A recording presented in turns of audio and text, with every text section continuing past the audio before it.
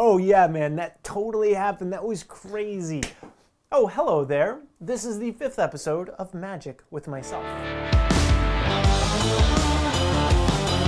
I am doing every trick from the classic magic book, Royal Road to Card Magic. The good, the bad, the ugly, I don't care, I'm gonna do them all.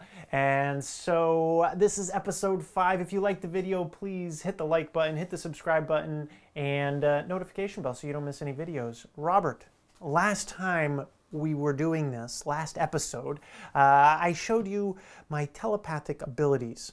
I'm not sure you were 100% convinced with them, so uh, I would like to try to convince you even further right now. Are you in? I am in. Good. Okay.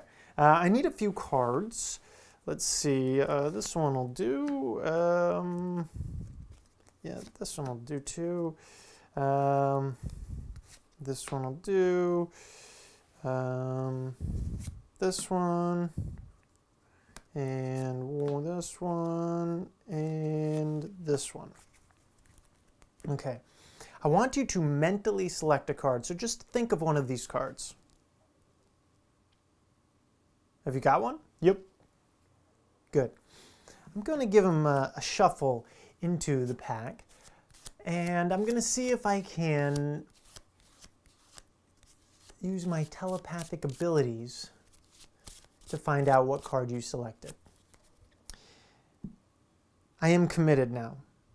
What was the card you selected? The Seven of Spades. The Seven of Spades. this is incredible.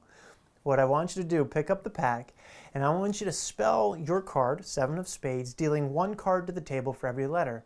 But on the last card, keep it in your hand. S E V E N S O F S P A D E S. I did it. I used my telepathic abilities to find your card.